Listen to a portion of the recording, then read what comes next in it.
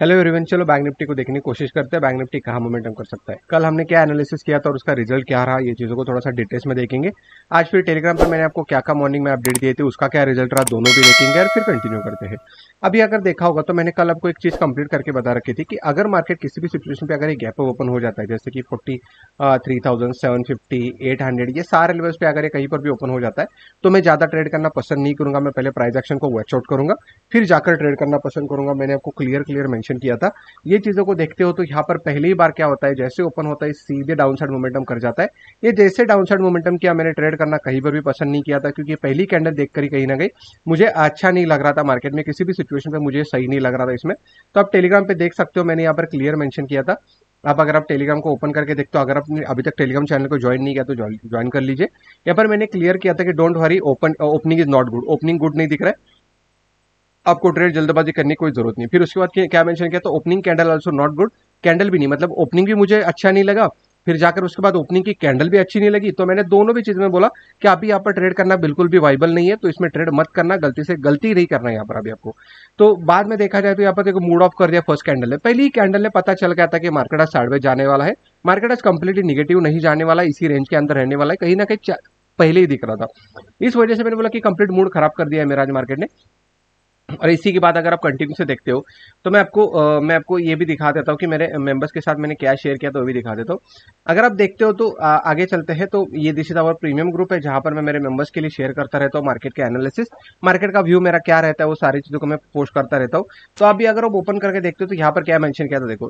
First first is not good clear mention किया था काट अंडरस्टैंड व्हाट टू डू समझ नहीं आ रहा है क्योंकि मार्केट एक लाइन में नीचे आया फिर इसके बाद साइड में जाने वाला था। फिर यहाँ पर सेलिंग तो सेलिंग तो जाना नहीं है एंड बाइंग प्लेसेस में मार्केट है। तो सेलिंग करना नहीं है हमें बाइंग प्लेस में मार्केट होने की वजह से। क्लियर मेंशन करके रखा था, फिर अगर आप कंटिन्यू से देखते हो, यहाँ पर as of now looking at first candle wait करना पड़ेगा फॉर सेकंड हाफ़ के लिए। सेकंड हाफ़ के लिए वेट करना पड़ेगा क्लियर मेंशन किया था, लेकिन सेकंड हाफ़ में भी कुछ ज़्यादा अच्छा हुआ नहीं। फिर इसके बाद सारी चीज़ें मैं मेंशन करता रहता हूँ कि कहाँ ट्रेड करना है, कैसे ट्रेड करना है क्या क्या होता है। ये प्रीमियम ग्रुप के लिए मैं सारी चीज़ें ऑलरेडी पोस्ट करता रहता हूँ, ताकि उनको मार्केट समझ में आ जाए। उनको ये समझ में आ जाए कि मार्केट में ट्रेड कैसे किया जाता है प्लान कैसे करते हैं हम, किस तरीके से करते हैं। आज जब मार्केट का ओपनिंग हुआ था ना ये जो ओपनिंग हुआ था, ये ओपनिंग को देखकर ही मैंने डिसाइड किया था कि आज मार्केट में पैसा नहीं बनने वाला। आज मार्केट कहीं ना कहीं थोड़ा सा गंदा खराब क्रिएट करने वाला है। कल जिस जिस मार्केट में मैंने कल जाकर सत्रह हज़ार क्वांटिटी के साथ मैंने ट्रेड किया था, उसी मार्केट में मैंने आज जाकर ओनली 200 क्वांटिटी के साथ ट्रेड किया ओनली 200 क्वांटिटी के साथ, क्योंकि सत्रह हज़ार कहा क्वांटिटी है एंड 200 क्वांटिटी कहा है, बहुत ज़्यादा डिफरेंस है। मैं क्यों करता हूँ क्योंकि मुझे पहली कैंडल के आसपास आसपास मार्केट का मोमेंटम दिखने लगा था कि मार्केट आज साइडवेज जाने वाला है। मैं कोई भी चीज़ें जब भी बोलता हूँ तो उसका बेस लेके बोलता हूँ। मतलब मुझे जब दिखता है तो मैं उसको मैंशन भी करता हूँ, तब जाकर कुछ बोलता हूँ। मतलब मार्केट ओपन होने के बाद बहुत से लोग बोलते हैं कि हाँ मुझे ये पता था, ऐसा होगा, वैसा होगा। पता था एंड एक्चुअली में पता होना इसमें बहुत ज़्यादा फ़र्क होता है। तो ठीक है, मैं ज़्यादा बाकी लोगों के बारे में बात नहीं करेंगे, हम चार्ट के बारे में बात करते हैं। तो ये चीज़ें देखते हुए से मैंने क्वांटिटी को कम कर दिया था, बहुत ज़्यादा क्वांटिटी को कम कर दिया था तो आप यहाँ पर ओपन करके देखते हो। तो आज आपको लॉस भी दिखा होगा, तेरह सौ नब्बे रुपए का लॉस दिख रहा होगा। कल सत्रह हज़ार क्वांटिटी में जितना प्रॉफिट हुआ था, ये उसका पॉइंट टू परसेंट भी प्रॉफिट नहीं है पॉइंट टू परसेंट भी प्रॉफिट नहीं है। इतना कम लॉस में मैंने बुक कर दिया था। क्या लगता है आपको, ये चौदह सौ रुपये जो फोर्टीन हंड्रेड जो लॉस हुआ है ये लॉस रिकवर करने के लिए क्या मैं और एक 200 क्वांटिटी लेता तो रिकवर नहीं हो जाता? एक से दो पॉइंट में रिकवर हो जाता, लेकिन मुझे लॉस को रिकवर करना नहीं है। पहली बात को समझो कि ट्रेडर एज अ कभी भी लॉस को रिकवर नहीं करता है, वो हमेशा मार्केट को देखने की कोशिश करता है। मुझे पैसा बनाना है इस वजह से सोचता है, ना कि रिकवरी करने के लिए। क्योंकि मार्केट मुझे क्लियर दिख रहा था कि भाई मार्केट साइडवेज ही है तो ये कभी मूवमेंट अप करने नहीं वाला तो पैसा तो मेरा बनने नहीं वाला। इसके लिए मैं ज़्यादा कुछ करूँगा भी नहीं यहाँ पर। तो इस टाइप का आपको भी प्लान बनाना पड़ेगा। जब तक आप ये सेंटिमेंट मार्केट को नहीं समझते हो तो पैसा बनाना थोड़ा सा डिफ़िकल्ट होने वाला है। पैसा बनाने के लिए पहले मार्केट को समझने की कोशिश करो फिर जाकर ट्रेड करो ताकि आने वाले टाइम में बड़ा पैसा यहाँ से बने। एक प्लान आपके पास पहले रेडी होना चाहिए। एंड एक बात मैं बता दूँ कि यहाँ से जो सेलिंग मार्केट में नीचे आया सडनली जाकर इसको कोई ज़्यादातर पकड़ नहीं पाएगा और कोई पकड़ नहीं सकता है। तो इस चीज़ को हमेशा याद रखो कि आप इस जल्दबाजी में यहाँ पर कभी भी ट्रेड मत करना। निफ्टी में मैंने एक ट्रेड छोटा सा ट्रेड यहाँ लिया था। आ, मैं आपको दिखा देता हूँ पहले। निफ्टी में मैंने एक ट्रेड लिया था यहाँ पर ये जगह के आसपास आसपास मैंने एक ट्रेड लिया था।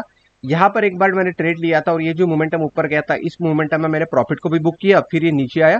मैंने क्या किया, जहाँ पर मैंने एंट्री किया था, बस जैसे ऊपर चला गया, मैंने बस कॉस्ट यहाँ पर एसएल लगा दिया।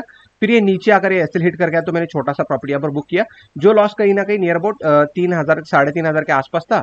वो लॉस पे मैंने एक एंट्री किया था तो वो निकल के जाया था और थोड़ा सा प्रॉफिट बन गया तो हमारा वहाँ पर तेरह सौ नब्बे रुपीज़ का यहाँ पर प्रॉफिट बन गया। इस टाइप का ट्रेडिंग अब करना पड़ेगा। लॉस हो रहा है तो चलने दो, कोई दिक्कत नहीं, लेकिन प्रॉफिट्स को बढ़ाने दो प्रॉफिट्स को समझने की कोशिश करो।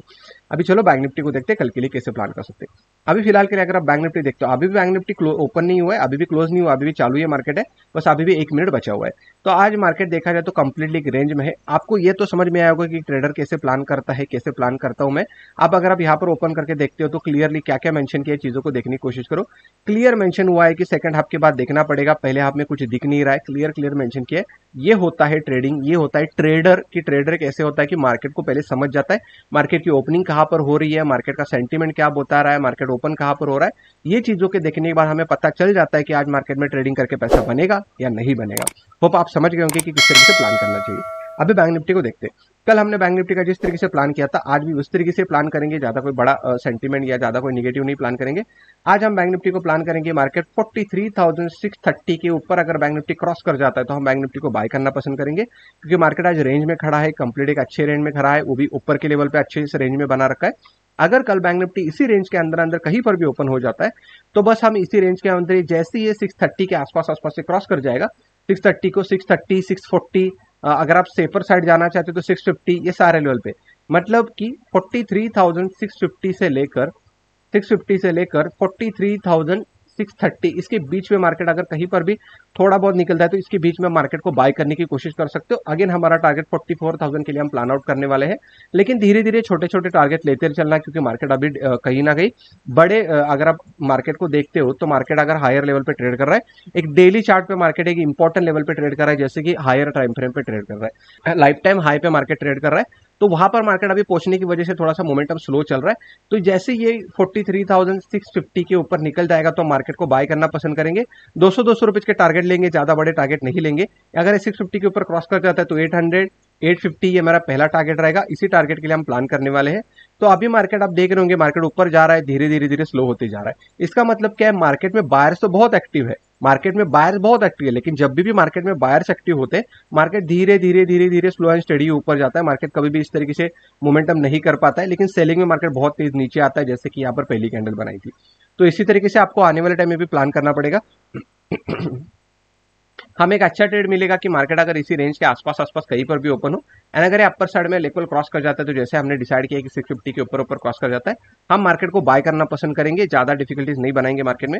बस मार्केट कई बार भी सिचुएशन पे ना गैप डाउन ओपन नहीं होना चाहिए। अगर मार्केट किसी भी सिचुएशन पे forty three thousand three hundred three fifty ये सारे लेवल्स के आसपास आसपास कहीं पर भी आकर ओपन हो जाता है। तो फिर से मार्केट मेरे लिए एक रेंज बाउंड मार्केट देखने के लिए मिलेगा, क्योंकि सारे लेवल्स इसके लिए फिर से वापस सेम इसी रेंज के अंदर अंदर फंस जाएगा। तो मैं वापस थोड़ा सा वेट करना पसंद करूँगा, क्योंकि ये रेंज में कंप्लीट में ज़्यादा ट्रेड नहीं करूँगा। क्योंकि मार्केट कुछ अच्छा दिखेगा नहीं, एक मोमेंटम नहीं मिलेगा ट्रेंडिंग मार्केट हमें देखने के लिए मिलेगा। क्योंकि एज अ ऑप्शन बायर हमें चाहिए एक ट्रेंडिंग मार्केट और ये स्लो मोमेंटम में मार्केट के ज़्यादा पैसा नहीं बनने वाला। और यहाँ पर ये लेवल के आसपास मैंने मेरे मेंबर्स के भी एक बार दिया था मार्केट को सेल करने के लिए भी दिया था और यहाँ पर एक उनको भी अच्छा प्रॉफिट मिल गया था, लेकिन मैं ज़्यादा क्वांटिटी आज नहीं करने वाला था, मैं क्वांटिटी को यूज़ नहीं करने वाला था। भले ही मार्केट यहाँ से नीचे आ रहा हो, लेकिन फिर भी मैं यहाँ पर मार्केट को यूज़ नहीं करने वाला। मैं यहाँ पर आपको आई थिंक दिखा सकता हूँ तो आपको मैंने कहाँ पर मैंशन किया था उन लोगों के लिए। यहाँ पर थोड़ा सा चलते हैं। यहाँ पर मेंशन किया था कि नीचे आ सकता है, आप देख सकते हो, यहाँ पर मेंशन किया था, ये नीचे आ सकता है यहाँ से। ये लेवल के आसपास आसपास मैंने यहाँ पर इनको रेंज बना के दिया था कि यहाँ से मार्केट आता है तो नीचे आएगा, ये लेवल के आसपास आसपास और वहाँ पर हमें एक टारगेट भी छोटा मिल गया था। लेकिन एक बात को याद रखो ट्रेडर हमेशा ऐसे प्लान करता है, वो एक सेंटीमेंट को मोमेंटम को ट्रैक करता है कि उसको चाहिए एक मोमेंटम मतलब मैं एक बार यहाँ पर एंट्री लू तो मार्केट ऐसे गिरते रहना चाहिए धीरे धीरे धीरे कर तब जाकर वो बड़ा पैसा बनाता है। आप मार्केट में ऐसे ट्रेड नहीं करते कि बस यहाँ पर ट्रेड करोगे, यहाँ पर आप दस, बीस पॉइंट के साथ निकल जाओगे। इस तरीके से ट्रेडिंग कभी होता नहीं, इस तरह से ट्रेडिंग करते भी है तो इसको हम स्कैल्पिंग बोलते हैं कि छोटी सी क्वांटिटी के लिए ट्रेड कर जाते हैं। जैसे कि मैंने निफ्टी में किया था, आप सबको पता है निफ्टी रेंज में था जस्ट क्रॉस किया मैंने ट्रेड किया, ऊपर जाते मैंने बुक भी कर लिया था।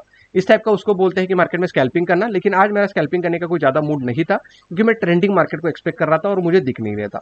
इसके लिए मार्केट को गैप डाउन अगर इसी रेंज में कहीं पर हो जाता तो फिर से एक साइडवेज मार्केट की तरह दिखने के लिए मिल जाएगा।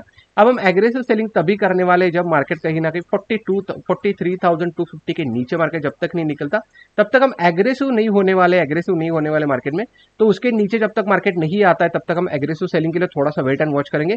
बाइंग साइड के लिए एग्रेसिव नहीं जाना है। जैसे कि 43,650 के ऊपर हम एग्रेसिव बाइंग बन सकते हैं मार्केट में थोड़ा सा। लेकिन बीच में मार्केट कहीं पर भी ओपन नहीं होना चाहिए। अगर इन दोनों के बीच में मार्केट वापस से ओपन ओपन हो जाएगा फिर से एक साइडवेज मार्केट देखने के लिए मिलेगा जो मुझे ज़्यादा मज़ा नहीं आने वाला। सो लेट्स सी देखते कैसे मार्केट ओपन होता है। मार्केट अगर बहुत बड़ा गैपडाउन ओपन हो जाता है जैसे कि सीधे सीधे forty three thousand one fifty two hundred ये सारे रेंज में अगर मार्केट ओपन हो जाता तो फिर मैं ज़्यादा सोचूँगा नहीं यहाँ पर। फिर मैं सेलिंग करना ज़्यादा प्रीफर करूँगा क्योंकि हो क्या जाएगा? मार्केट में यहाँ से भी एक बार मोमेंटम किया, फिर ऊपर गया, फिर रेंज क्रिएट किया। अगर फिर से सीधे ये लेवल के आसपास पर कहीं पर ओपन हो जाएगा तो फिर इसको बाइंग में ज़्यादा कोई भी इसको रोक नहीं पाएगा और सीधे सीधे नीचे जाने की कोशिश करेगा। तो इसी तरीके से बस बड़ा गैप डाउन या फिर गैप अप ये दोनों ही चीज़ें मार्केट को एक ट्रेंडिंग मार्केट दिखा सकती है। तब तब एक अच्छा प्रॉफिट हमें मिल सकता है। वरना अगर मार्केट बीच में कहीं पर ओपन हो जाता है तो हम थोड़ा सा वापस से साइडवेज के लिए प्लान करेंगे। मिनिमम 12 बजे तक तो हम मार्केट को वेट एंड वॉच करेंगे। उसके बाद देखेंगे कि मार्केट कौन से डायरेक्शन में निकलेगा अपर साइड में डाउन साइड में निकलेगा।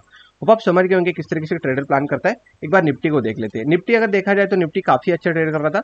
निफ्टी ने भी एक अपर लेवल पे आसपास आसपास काफ़ी अच्छे से होल्ड किया है।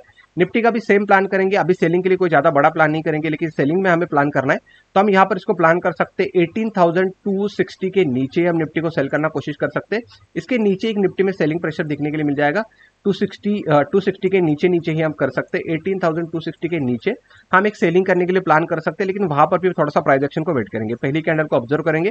पहली कैंडल कौन से डायरेक्शन में निकलती है उसके बाद ही हम ट्रेड करना पसंद करेंगे इसको। क्योंकि मार्केट अभी ऑलरेडी कहीं ना कहीं आप देखोगे तो ऊपर तो जा रहा है लेकिन धीरे धीरे बड़ी बड़ी कैंडल्स बना रहा है नीचे की साइड में। यहाँ पर भी आप देखोगे तो ऊपर जा रहा है एक ही बड़ी कैंडल बना रहा है। फिर एक बड़ी कैंडल बना रहा है लेकिन उसको फॉलोअप नहीं कर पा रहा है। इसका मतलब क्या है? मार्केट में सेलर तो एक्टिव हो रहे हैं लेकिन वो सेलर में इतनी पावर नहीं है कि वो मार्केट में नीचे गिरा पाए। इसके लिए मार्केट अभी धीरे धीरे धीरे कर ऊपर के साइड में होल्ड कर रहा है। अब मार्केट में निफ्टी में एक ही लेवल के आसपास आसपास अगर बैंक निफ्टी ओपन हो जाता है सीधे, जैसे कि एटीन थाउज़ेंड टू टेन, ये सारे लेवल के पास अगर निफ्टी कहीं पर भी ओपन होता है तो फिर हम एग्रेसिव सेलिंग करना पसंद करेंगे। क्योंकि यहाँ से सेलअप आने के बाद फिर से मार्केट ऊपर चला गया, फिर सेलिंग आने के बाद फिर से मार्केट हायर साइड में रुक गया। अगर मार्केट सीधे ये लेवल के आसपास आसपास कहीं पर ओपन हो जाएगा तो फिर इसको रोकना थोड़ा सा मुश्किल हो जाएगा। एंड फिर से इसको सेलिंग में जाने के लिए कोई ईजी रहेगा हमारे लिए ट्रेड करना। तो बड़ा गैप डाउन होगा, तभी हमारे लिए अच्छा ट्रेंडिंग मार्केट देखने के लिए मिल सकता है। होप आप समझ गए होंगे किस तरीके से ट्रेडर प्लान बनाता है और किस तरीके से हम मार्केट को समझते हैं। मिलते हैं किसी नेक्स्ट वीडियो में, तब तक लिए बाबा एवरीवन टेक केयर